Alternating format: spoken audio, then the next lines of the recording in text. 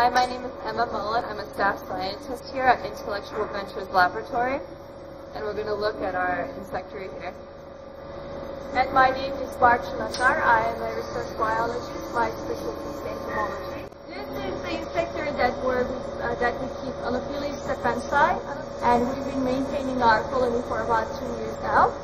And this room is temperature controlled, humidity controlled. All right, so these are the eggs that the mosquitoes lay after they blood feed.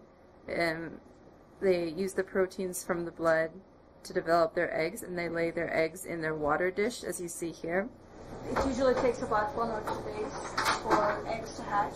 And we have the first instar larva. And uh, here we have the second instar. These guys are about four days old after the, the eggs were put in.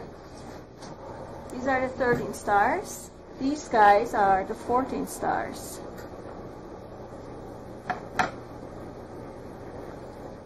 After they are going to turn into pupa and the pupa will look a little bit different than the larva. The pupa will not feed. They are going through uh, complete metamorphosis and they will turn into adults. So what we do is, after the fourth instars start pupating, we start uh, taking the pupa out of the trays and putting them into cages like this. This is our first version of cradle to grave cage, where we do the um, dosing experiments. These are the second generation cradle to grave boxes. These are a little bit different than that one because we have some openings that the mosquitoes can land on the sides. So let me just compare it right here. So these have more air circulation. And once again, we have the hose attachment. We can fit the, uh, put, put some kind of fitting in here and then attach the carbon dioxide and anesthetize the mosquitoes with the zapping if need to.